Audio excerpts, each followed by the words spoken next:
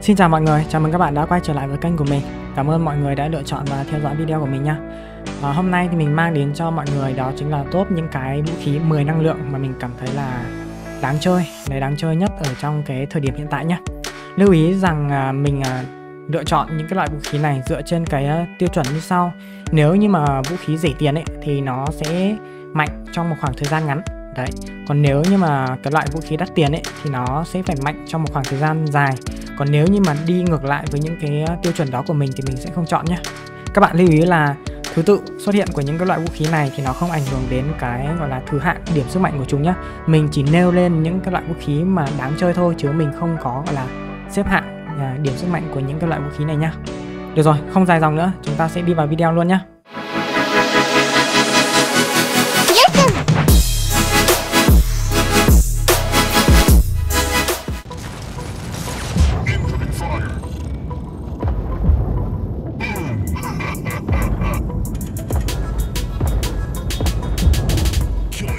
Đầu tiên đó chính là khẩu bộc phá 10 à, Mình biết là khẩu bộc phá 10 này nó chưa được uh, công khai trong cộng đồng.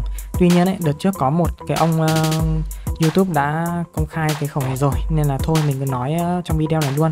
Hiện tại mọi người mọi người nhìn thấy trong video thì mình đang dùng uh, bộc phá 12 nha Không phải bộc phá 10 đâu.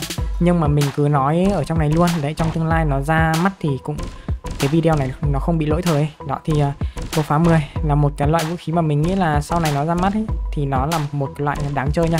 Lượng sát thương ổn này. Tuy nhiên ấy mọi người cần phải sử dụng những con mech mà có khả năng gọi là áp sát đấy như kiểu là con um, uh, clip này, search này đó hoặc là những con mà có khả năng phế khiên như kiểu là Guardian này. Thì theo mình những con ý là những con phù hợp với khẩu bộc phá nhá nó sẽ phát huy được uh, tối đa sức mạnh của khẩu bộc phá nha.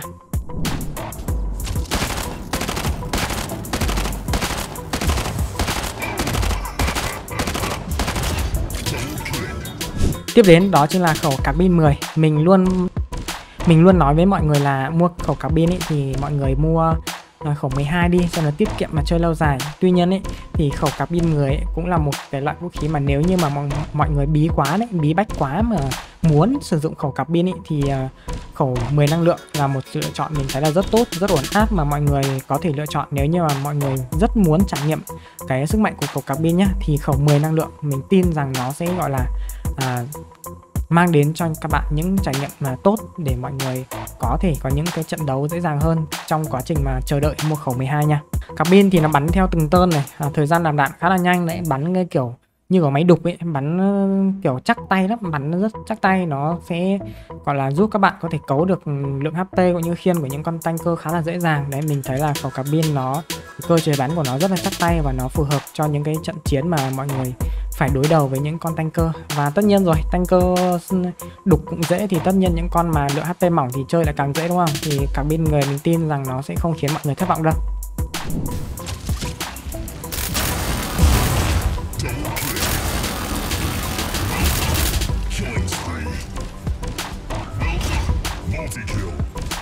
Tiếp theo đó chính là điện 10 hay là khẩu vòng cung 10 Đấy.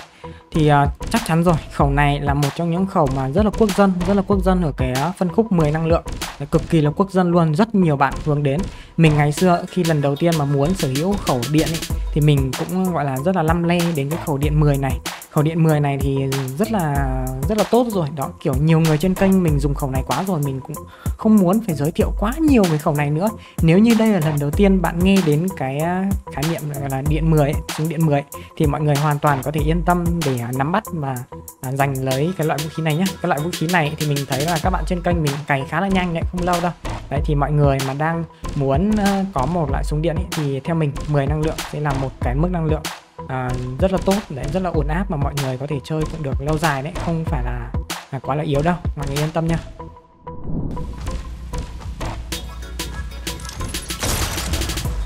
Tiếp theo đó chính là khẩu M10 Thực sự là M10 thì mình cũng khá là phân vân khi mà cho vào cái danh sách này.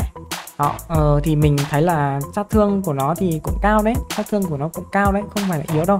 Tuy nhiên ấy, thì à, mình cũng xem giá cả nó rồi giá cả nó khá là chát đấy. 6k à 6k coi à. Đấy thì theo như mình thấy thì với cái lượng giá cả này thì em 12 và em 16 thì vẫn cứ gọi là ok hơn. Đấy nó khẩu em 10 này nó bán cái giá nó khá là lửng lơ ấy, nó khá là kiểu uh, hơi xương ấy, hơi xương so với sức mạnh của nó. Nhưng mà thôi thì kệ vậy. Dù gì thì uh, sức mạnh của em 10 cũng không phải là từ chối được và cái À, mình tin rằng nó cũng dùng được lâu thôi nên mình cứ cho nó vào danh sách này. Còn cái quyền mà mọi người gọi là đầu tư hay không là quyền của các bạn nhé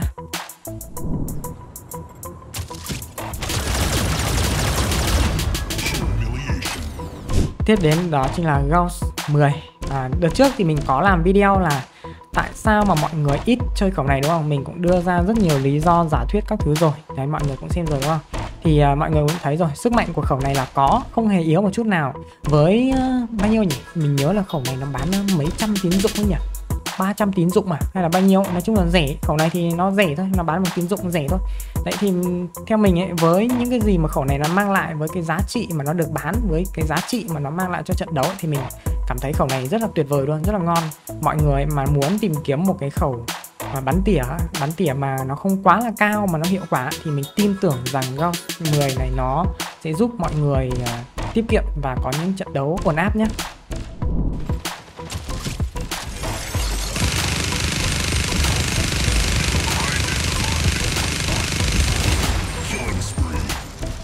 Tiếp đến đó chính là minigun 10 rồi chắc chắn rồi minigun uh, dạo gần đây à, một cái loại vũ khí như minigun đang được nhiều người yêu thích cực kỳ luôn. Sau cái đợt mà nó được chỉnh sửa sức mạnh thì minigun là sự lựa chọn quá tuyệt vời. Cái loại 8 năng lượng chơi ok rồi thì không có gì mà chúng ta ngần ngại mà chúng ta không chơi loại 10 năng lượng đâu. 10 năng lượng đối với minigun thì cũng rất là ghê luôn, thực sự là như vậy. Sấy nó rất là đã luôn, đấy. Những con tanker các thứ thì minigun không ngán luôn. Chỉ có những con mà chạy nhanh ấy, đấy, những con mà chạy nhanh quá thì minigun nó hơi ờ, khó một chút, lia tâm khó thôi. Nhưng còn mấy con kiểu lù đù chạy chậm thì khiên nhiều thì đối với minigun nó như kiểu là một cái cục thịt di động ấy minigun nó xả ra thì khóc luôn. Đấy, thì minigun 10 là một cái ờ, dạng năng lượng của minigun mà mình tin tưởng rằng nó sẽ giúp mọi người có những trận đấu dễ dàng và theo chân mọi người ở những cái không được chiến cao hơn nhé. Mọi người hoàn toàn yên tâm.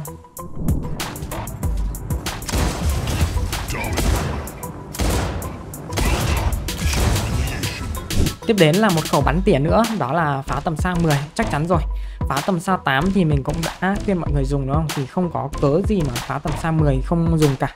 Đấy ngày trước thì à, cái hiệu ứng của phá tầm xa 10 nó không phải như bây giờ đâu mà hiệu ứng của phá tầm xa 10 nó là của khẩu 8 cơ. Nhưng bây giờ phá tầm xa 10 nó đổi hiệu ứng lấy của khẩu 8 rồi.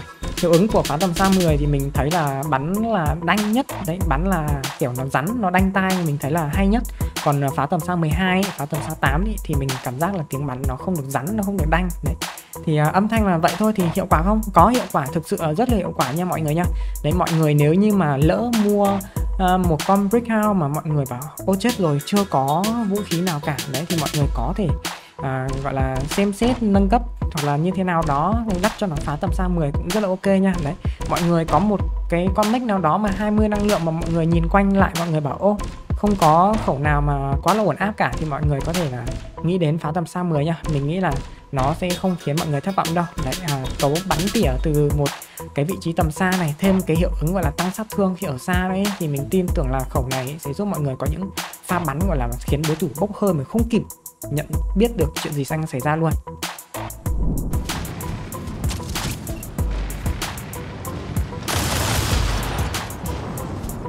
Tiếp đến đó chính là pháo xoáy 10 pháo xoáy thì là một cái dòng uh, vũ khí cũng gọi là mới đi đấy mới đi với cái góc bắn cao này uh, xa này thời gian nạp đạn thì cũng ngắn này đó và khỏe đấy sát thương cao như vậy thì mình uh, giới thiệu đến mọi người là yên tâm luôn phá xoáy 10 là một sự lựa chọn rất là tốt nha. Mọi người hoàn toàn yên tâm phá xoáy 10 thì nó sẽ giúp bạn có những pha cấu rỉa cực kỳ đau luôn. Với những cái con như kiểu là mất chính xác các thứ ấy thì dính một tơn của pháo xoáy 10 ấy, thôi là khả năng bay màu là phải đến 9999 phải 99 phần trăm luôn rồi. Đấy còn với những con tanker ấy, thì mọi người như nào?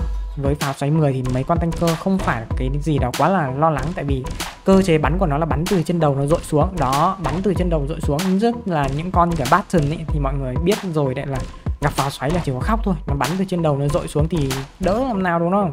Đấy thì pháo xoáy 10 là một cái vũ khí dạng 10 năng lượng mà mình à, khuyên mọi người nếu như mà có tiền các thứ ấy, mọi người thích kiểu cấu rỉa như này thì yên tâm hãy chọn pháo xoáy 10 nha.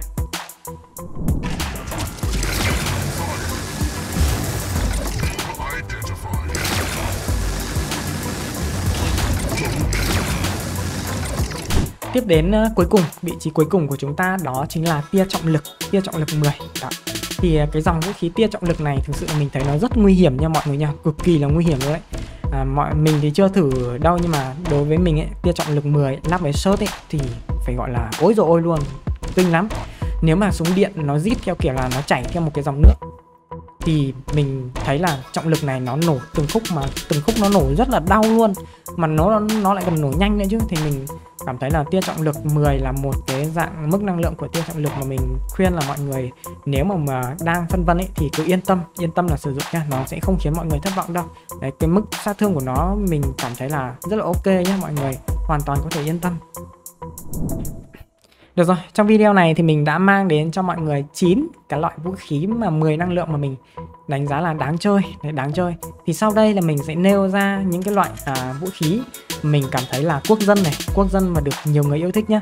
Tất nhiên những cái loại gọi là mạnh ý, thì nó lại không được quốc dân đấy, tại vì cái gọi là cái người những người chơi người ta với đến những cái loại này nó không được nhiều đấy thì mình chỉ nêu lên những cái loại mà mình cho rằng nó sẽ gọi là cái mức giá là à, mức giá cả là hợp lý. Đấy giá cả hợp lý sức mạnh là ok. Đấy thì mình chọn. Còn những cái mức mà nó kiểu giá cao quá thì thôi theo mình là không nên. Tại vì với cái loại 10 năng lượng này mà giá cao quá thì thôi thì chúng ta tích góp một chút đi. Chúng ta chịu khó một chút đi. Chúng ta mua loại 12 năng lượng còn hơn đúng không? Đấy.